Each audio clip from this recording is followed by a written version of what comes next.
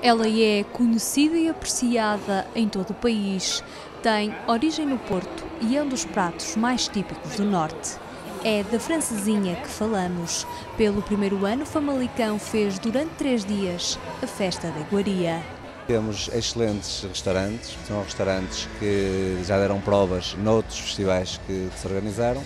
Acho que as coisas vão correr bem, é isso que esperamos. Há aqui francinhas para todos os gostos. Há desde vegetariana, com muita carne, com pouca carne, como quiserem. Realmente o norte do país é uma tradição, a francinha, e aqui não vai deixar de o ser. Leva muita coisa, leva linguiça, salsicha fresca, bife, fiambre, leva muita coisa.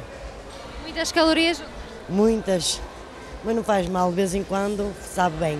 Francinha é com um pão de forma, um pãozinho fofinho, caseiro, com queijo, fiambre, leva mortadela, uh, um bifezinho e uh, ovo, a salsicha, não pode faltar, e batata, simplesmente. Mas depois há um molho. Isso é que é o segredo. O segredo é o molho, não é?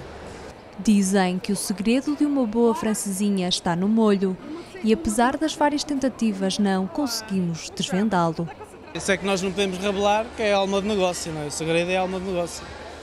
E. É realmente o molho que diferencia as várias uh, variedades francesas? Sim, uh, o molho é que é, portanto, é que é a especialidade, não é da francinha. O molho é a especialidade. O que é que distingue o vosso molho dos outros? É muito bom, tem que provar para ver. É bom. Como é que é feito? Ai, não posso dizer, é segredo. Mais ou menos picante, há molho para todos os gostos. E para quem come, pouco importam os segredos de preparação da francesinha. Como é que está Fran? Uh, está muito boa, está um bocadinho picante, mas uh, come-se bem. Como é que está francesinha? Está a saber a pouco.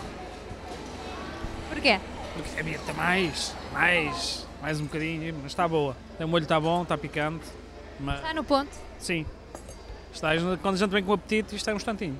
É um invento bom e uh, é um momento também para estarmos, para estarmos todos juntos, a relaxar. É bom. Uma francinha tem que ter para ser especial? Ora, para ser especial tem que ter a carne de vaca, o, o, a carne de porco e a salsicha, o queijo e o ovo, e o ovo, e o molho. E o que não faltou durante os três dias de festival foi apetite. Foram muitos os que passaram por Famalicão para provar as francesinhas de quatro restaurantes da região.